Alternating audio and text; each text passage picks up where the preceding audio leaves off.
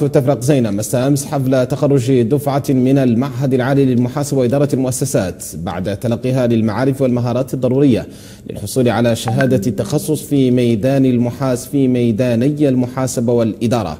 حضر الحفل الطاقم التدريسي بالمعهد والعديد من الطلبة وذويهم بحضور عدد من طلبة المعهد العالي للمحاسبة وإدارة المؤسسات وذوي الطلاب فضلا عن طاقم التدريس بهذه المنشأة التعليمية.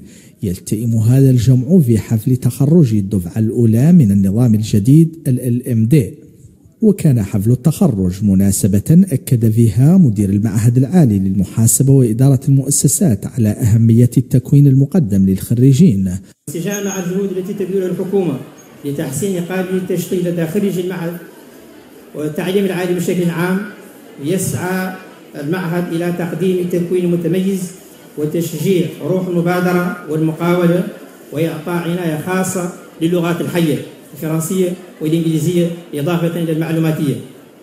وسنعمل على جعل هذه الدفعة الأولى من الإصلاح الجديد وفق آخر مرسوم محدد لنظام دي مرجعا يقاس عليه مدى نجاح التكوين بالمعهد وفرص الإدماج في سوق العمل وفيها سياق تم اعتماد لأول مرة نظام لمتابعة الخريجين لربط الصلة بهم ومعرفة وضعياتهم المهنية والأكاديمية.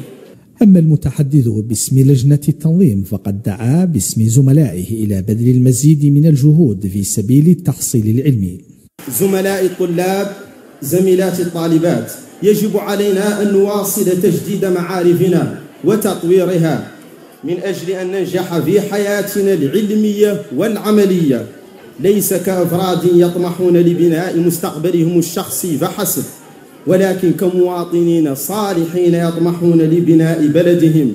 وقد اختتم الحفل بتوزيع الشهادات تكريم وتقدير على الأساتذة والطلبة في هذا الحفل المتوج لمرحلة من التكوين بإحدى مؤسسات التعليم العالي الوطني.